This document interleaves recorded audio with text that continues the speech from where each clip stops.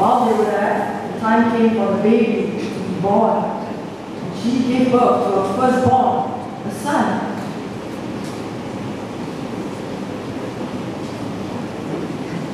She wrapped him in cloth and placed him in a manger because there was no room for them in